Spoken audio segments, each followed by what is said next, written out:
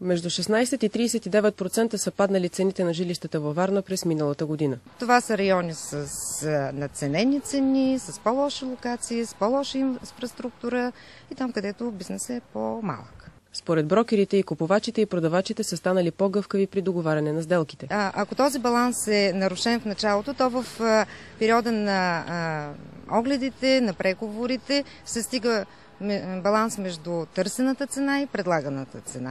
От началото на годината брокерите отчитат завишен интерес от руски граждани. Новото строителство все още държи най-високите цени на пазара за сметка на панелните жилища. До 40 000 евро ориентировъчна цена, в което трябва да включва минимум, ако е панелно жилище, три отделни стаи, хол, спалня и кухня, или пък ако е в ново строителство.